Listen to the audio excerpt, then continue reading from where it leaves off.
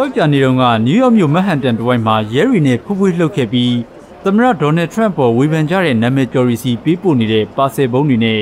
ဒရန်သူရဲ့ပါဆယ်တစ်ခုကိုတွေ့ခဲ့ပါတယ်။နယူးယောက်ကလမ်းမတွေတစ်လျှောက်ရဲရီအပြည့်ချထားပြီးအနံ့ခံတဲ့ခွေးတွေနဲ့လမ်းတစ်ဖက်တစ်ချက်ကကားတွေကိုလည်းစစ်ဆေးနေပါတယ်။မဟန်တန်စာရိုက်ထဲတန်တရားရှိပွဲပါဆယ်တစ်ခုကိုရဲရီရှာတွေ့ခဲ့တယ်လို့ဆိုပါတယ်။ဘုံတန်ခံနိုင်တဲ့အမဲရောင်ပုံတစ်ခုကိုဘုံတစ်ဖွဲ့ကယူလာပြီးနောက်မှာတော့ ဘုံတန်ခံနိုင်တဲ့ထရက်ကားတစ်စီးတွေကိုပါဆယ်တို့ကိုပြောင်းရွှေ့ထားလိုက်ပါတယ်။